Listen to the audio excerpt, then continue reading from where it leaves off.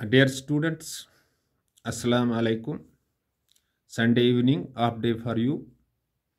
I hope you have memorized some notes as your examinations are coming and for a very nice score you have to put extra efforts you have to remain stick to the books because in modern times your score needs to be very high.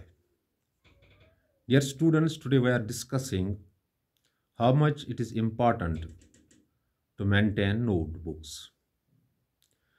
Dear students you might be knowing that teaching has three phases mainly.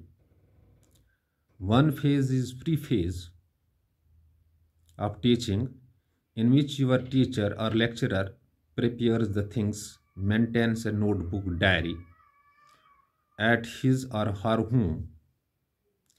And then the second phase of teaching starts when he or she enters the class. This is called interactive phase or the real teaching learning encounter. You do two things there either you remain silent just listening the lecture what he or she delivers or you question the teacher inside the classroom to make the things understandable. Dear students after interactive phase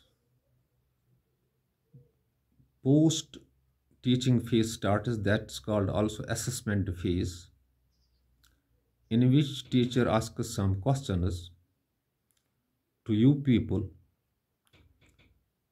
so that he comes to know or she comes to know how much my lecture proved successful. Dear students you carry rough copies with you. Where you note down some important points of the lecture which is a nice thing? In a day you face five teachers almost for about 200 minutes because for every class there are at least 40 minutes and after leaving the school premises taking tea in your respective homes you should use your rough copy where you have noted down some main points and a book available with you to maintain notebooks. These notebooks will help you to crack every exam with a nice percentage because when you write down the things it is way to learn things immediately because it is sad when I write down the things, I memorize them. Now, the students of various schools have started a new trend. They buy ready made notes and try to memorize them without making notebooks I think this is not a very good practice. If you are carrying this practice, you are applying, adopting this practice, you must change it because making notebooks is the important phase of learning. Dear students, the aspirants who prepare for bigger exams like civil services or other professional exams like uh, NEET, engineering, etc. When they learn things inside the coaching centers or through the online mode, they immediately make notes.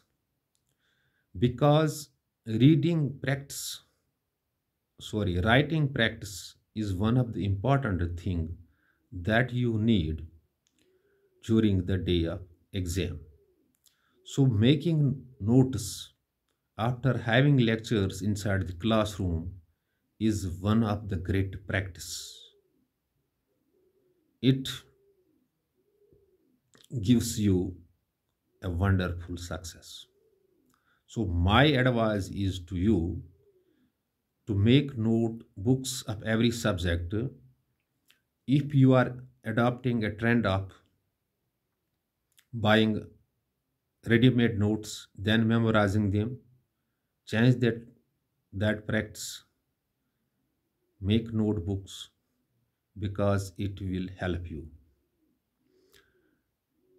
Some aspirants of civil services when they enter the coaching centers the first thing that is taught to them is to maintain notebooks because in stipulated time of 3 hours or 2 hours you need to reply your questionnaire and you should have the writing practice. And a writing practice comes to you, you gain writing practice when you note, when you make notebooks, when you prepare notes. So my advice to you all is to prepare note, notebooks. This will definitely help you in securing a nice percentage apply those trends, those techniques which are useful in every respect. Note making or notebook maintaining is a very useful practice. It makes you fit in every respect to respond the questionnaire that is asked in the board exams or other exams I hope you have got an idea that uh, notebook maintaining is important learning instrument. Without maintaining notebooks perhaps you will not score as much as you are expecting. Thanks. Be blessed